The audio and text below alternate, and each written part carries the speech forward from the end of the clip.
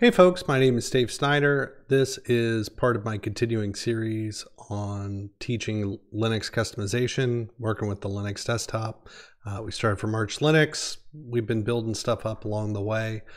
Um, last we left off, we had set up a snapshot system using Btrfs and Snapper. And one thing that was apparent to me was I was asking you all to, you know, add a bunch of commands into your uh, uh, terminal, but I had to sort of explain what all of these things did, and that reminded me that uh, maybe we should to go through and just learn a little bit about how you can find information and get help when you're in the command line. Um, specifically, we can look at how manual pages look, and then we can look at some uh, little cheat sheet uh, programs that are out there like TLDR that will allow you to just get the basics whenever you need it. And that's going to help you just navigate around a little bit. Uh, so let's go ahead and get started. So here we are within uh, our terminal. Uh, I brought up the man page here uh, within the Arch Linux uh, wiki. And manuals are essentially just really long manuals that you can see for almost any program that's going to be command line based. Uh, and at the end of the day, what you can kind of do, you know, last episode we were working with a program called Snapper. Uh, and of course, you can go and say, you know, Snapper help, and that's going to give you the basics. Uh, but what if I wanted to learn about Snapper itself? Normally, what you do in Linux is say, okay, I want to run snap uh, manual for Snapper. Now we don't have the manual by default. Uh, and to get those types of things, what you need to do is actually get download the database that has this type of stuff. And so in Arch, you're going to say um, uh, yay dash s man db. Uh, and then if you do this at this point, it's going to give you that man command uh, and you'll be able to get the manual for it. Now, this is going to load in uh, Linux's default pager system. A pager system is essentially uh, just something that allows you to read a multiple page document. Uh, and, in, by default, I believe the one that uh, ships with the the distro that we came with was the less system and it's really just a way there's not much to it uh, you can hit H on here and it's going to give you some key commands uh, that you can use to navigate around. So for example, I could use, you know, J and K to get here. Um, eh, you can use Z and W, I guess, to get things through. But to me, I don't really like learning another system uh, just to uh, figure out how this works. Um, I also really find it hard to read this when it's just using the indentation. It's not using any color. And one way that you can get around this is if you're a NeoVim user or Vim user or something like that, uh, you can actually use NeoVim to read this type of stuff. I'll, I'll show you a couple different ways that you can do it. Uh, one would be, you know, just load NeoVim up, uh, and you can actually just say, uh, you know, colon, use the man command within NeoVim, which is default a part of NeoVim. Uh, and then you can, you know, type the program that you want, which is going to give us uh, the manual for Snapper. Now it's going to load this in a split window because it's going to assume, hey, you were writing code up above and, you know, you needed to reference the manual for some reason. So, you know, this works, but I'd have to then go resize this type of stuff. Uh, one nice thing that's obvious that we can see in here is, oh, it's giving us really nice color coding just by default within NeoVim to do this type of stuff. Um, but I really just want to get back to being able to type man in the command that I want to run when I'm in the command line. Uh, and you can actually do that in NeoVim. Uh. So uh, anytime you're within uh, NeoVim, you can type uh, help and then ask about a command. And I, I was doing this the other day and I noticed um, that uh, the man command within NeoVim had this nugget of advice uh, which if we scroll down on here, it's going to say to use NeoVim as a man pager, we can uh, export the variable. And, you know, you're just learning this stuff. You may not know what this means. Uh, but remember when we set up our fish file, which lives in v uh, config fish config uh, dot fish, Now, we can edit this file uh, really quickly. Remember, we made an alias for this. Uh, and you can see the alias here that we made that's just called fishy. It's just my way to get to things pretty quick. Um, what we can do is uh, add this export, and we've already got some other exports, you know, that we've been adding in here. We may as well start labeling this stuff correctly. Uh, we can say set gx, uh, and the the example that's given above is written out in bash and so we just need to convert that. It's it's pretty similar. Uh, we're just going to say man pager. Uh, we don't need the equals and we just say okay we want to run neovim plus uh, looks like what? Man exclamation point. And if we do this and write and close it out uh, we should be able to you know just run uh, you know man. Now it doesn't look like it worked. It just loaded this in the normal man thing. Now, as a reminder, whenever you're editing something uh, within that fish, um, within that fish config, you either need to source it or you need to open a new terminal. So to show that off, let's open a new terminal and now run man snapper. And you can see by the color coding that we're getting, we now, uh, it's just opening directly in NeoVim, which is what we wanted. That's great. Uh, as a reminder, if you wanted to see that uh, happening in the current window where you edited the config, all you need to do is, sorry, not run man, uh, you need to run source and run against the uh, configuration file again. And source is just saying, hey, run this file. Um, and now at this point, we should be able to say man snapper and there we go. We get a nice manual page that's going to describe all the crazy settings uh, that we were uh, putting in here before. And even better, we can now use NeoVim uh, to kind of search against the document in the way that we're used to. So there's the create config uh, setting that we used in last episode to see all this kind of stuff working, which is kind of great. Um, other stuff uh, that we could do beyond just those manual pages because they, they do get weighty like who wants to sit there and run the entire command for for example the list uh, program um, so we run list quite a bit right uh, when we've been within our documents we you've seen me do uh, both this one quite a bit and then you've seen me do dash la now, what does LA mean, right? How could I figure out what dash LA means? I could go to that manual, right? And I could type man ls, uh, and you're going to see the parameter for that A means uh, do not ignore entry starting with dot. So that that's the one that's showing our dot files. Uh, and then if we come here uh, and look for the L1, these are all in alphabetical order, we see use a long listing format. So when we're running this stuff, we're actually saying, you know, we could run these independently. We could say run it uh, in long listing format rather than just this uh, shortened one. Uh, or we could just run A and it's going to give us uh, the, not the long listing format, but it's going to show all those dot files as well. So it's good, you know, great, uh, but maybe I don't want to read all this stuff. Like, can I just get like a cheat sheet version of it? And you can. There is a, uh, a community run uh, set of markdown files that are stored under this TLDR pages project. Uh, and specifically what it will do is, you know, when you run a command, uh, it's you could say TLDR and give it the command name, just like you gave it man. And it's just going to give you like a shortened, abbreviated version of what you have that are options there, uh, which I use kind of all the time.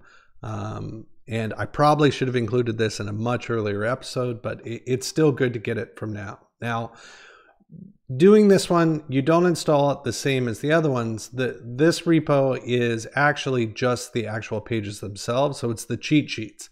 If we come in here in the pages directory, we're going to see in Linux land, uh, we could see that there's probably a list command. Man, look at how many commands are down in here.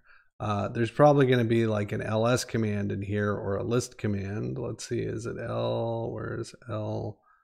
Uh, well, we can see ls block, right, which would say like, um, you know telling us about the devices. I think we did this a couple times last one, uh, but it's really all that it is is just a markdown file that people put together. That's a, a, small cheat sheet. So if you wanted to make your own or something like that, or you wanted to edit it, you could actually come into this repository and do it. Now to actually use this program within your um, uh, within your terminal, you actually need to install one of the clients for it. And there, there's quite a few clients that are out there um, that allow you to get to this type of stuff. Uh, and long story short, the one that I recommend and, and, that I think is pretty good is one that's called Teal Deer.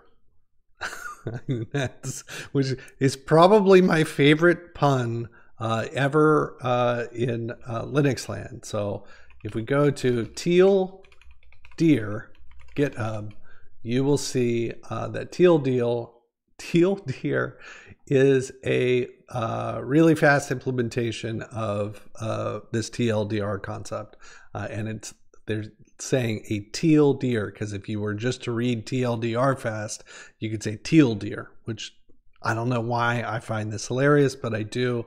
Uh, it's nice that it happens to also be a really fast, nice client uh, that we can um, look against. So one thing, you know, probably that I should have also taught you when we were doing package managers was if you ever want to find something, uh, you can pass an extra extra parameter on there uh, with uh, dash s, which will just uh, uh, with the lowercase s, that's going to search for something. So for example, if we wanted to check all the what's available on the Arch user repository that's under TLDR, this is going to give us, you know, a bunch of results against it that's going to say, okay, there's TLDR page, uh, which apparently is a Go client. There's, you know, these uh, other ones in here. Um, but if we just want to install this one, right, uh, we could do, uh, I don't know why I capitalized yay there. Uh, we could run one for uh, teal. Let's see if teal is going to return. Uh, you can see this one here, community TLDR uh, is a fast client. So even if we were like, I don't know if it's with a dash or not, you never really know a lot of this stuff. This is one way to find out how to install something like this because sometimes the instructions uh, to install are not, they're not really shown here, right? Because a lot of people aren't going to go to the time to actually put every way to install something like this. So instead, let's go and do, uh, let's go add it. We'll do uh, teal deer uh, and we're going to add this program. Uh, notice too from our last episode, uh, our snapper snapshots are still running. I'm just going to show this off real quick because I just love that we set it up. Uh, and you can see, okay, it's it's got our uh, change here uh, for teal deer being added. So now that we've added this teal deer system, and I, I won't say it anymore because it, it's almost like a tongue tie, uh, we can actually come in here and say TLDR LS. Uh, and it's going to say, shoot, you don't have any of this stuff yet. And that's just because we need to actually run the update for it. Uh, so we can either pass dash dash update uh, or we can just pass dash u. And what this is going to do is go and download all these pages that we were looking at, right? There's, there's ones in every single language uh, that's out there, and not every single language, but uh, quite a bit of them. Now at this point, we can say TLDR ls, and it's going to give us uh, a bunch of uh, commands that we can do. So long format list of all lines sorted by modification date, oldest first. Cool. Let's try it. ls uh, ltr, uh, what was modified sort of last, and you can see the timeline, right? so uh, this just gives us a really, really quick way um, to start editing this stuff and start working with it. So when we were working last time with Snapper, right, uh, we could have typed TLDR Snapper, and this is going to give us like the basic syntax. Now, for something as advanced as Snapper, TLDR may not be enough for you, but at least like it jogs your memory on the way that the parameters work or the configs work or something along those lines. Uh, it also just tends to give you like oh, if you want more information, like where can I go to? And this is going to give you like an HTML version. Now, sometimes more information is not going to link to a man page. It's going to link instead to like the documentation for the project. So to me, a lot of times it's just a really easy way to get to the documentation for that project, which is kind of neat. Now, uh, does come, you know, as you're learning with a configuration file. Uh, so if we come in here and look at uh, the docs that they've got, you can see that there's a configuration file, uh, which just uh, needs to be stored in here. And it's going to say, okay, it needs to be in TLDR uh, config.toml. There again is our XDG config home, which for us is going to be uh, config uh, TLDR, which does does not exist yet. Uh, so we would need uh, to go and add one of these. So for example, we could come in and say, okay, uh, I think it's funny. I bet TLDR, can we do TLDR, TLDR? How weird and meta is that, right? Uh, but anyways, we can go in and add this, um, uh, we can add this config file. So let's just make a directory called uh, TLDR. Uh, and then inside that TLDR one, we're going to touch a config.toml file. Uh, and then we're going to edit it. Remember, I've uh, aliased NeoVim to that V key uh, so that we can now jump into here. And it's given us a config example uh, that we have in here, uh, which is, okay, we can change it to be a compact view. Personally, I, I like this one a lot better. I do not like using the pager. Uh, and we can change the color codes that are on here. And if we wanted to, we could change it to auto update. Um, I probably wouldn't want that one set. I don't mind setting this stuff occasionally myself.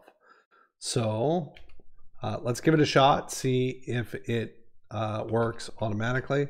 And it does. So notice that the ones up here were loading um, uh, with the um, loading with some line spaces. And now that we've uh, put it in that compact mode, it's actually just going to give it to us, uh, you know, easily in this way, which is, is great.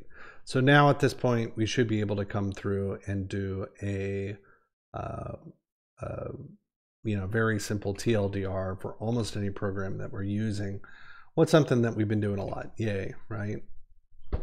Perfect you all probably need this one unless you're you know been using linux for a while uh, this will let us know like how for example like you want to search it you want to remove the package and all the dependencies uh, you want to add it in there you want to update uh, only the AUR packages you want to update all packages. This is something that we can probably finally do now that we added that snapshot stuff and we have recoveries um, so that's a good one. Uh, I think this is really just going to cover it for this one. This this will be a shorty one. Hopefully this helps you out a little bit. One last thing that I want to do, and I have been doing these just in order. You know, like you've seen everything that I've uh, that I've done within the system as we've been working through these videos. I did mention uh, that I wanted to fix uh, the cursor that we're looking at here. Uh, and I forgot that when we set up Alacritty. um, there was one file that I needed to touch on here. And when we get into the color mode, uh, which is probably down, it's right here. One thing that we, uh, the reason why this one didn't work very well is because uh, the cursor and the text uh, are set to the same color and that's why we're seeing that problem on here. So you, theme this is i would say a pretty bad theme. We're going to come through do a full theming episode where all that we do is like retheme everything. Uh, but really uh, one recommendation that i would make uh, is that uh, when you do this type of stuff uh, you want to use your background color as your foreground color. So if we do that here uh, and then we change our foreground color to our background color, which in this case will be our uh, cursor. This should give us the coloring that we want. Uh, did I put the two? Did I actually use the same one? I did. Look at me. Silly Dave. Uh, okay, let's do this a little bit better. right? XD. Wait. Oh, sorry.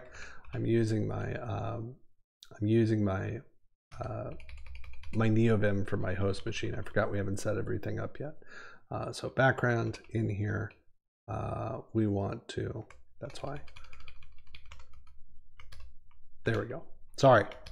Uh, you're just watching me uh, type random stuff. So now uh, when we come in here, we now have a better cursor that's working um, and everything's a little bit more readable. Sorry for not setting that earlier, uh, but like I said, I want to record everything as we go through it. Hope this one helps you out. Uh, I'll see you next episode.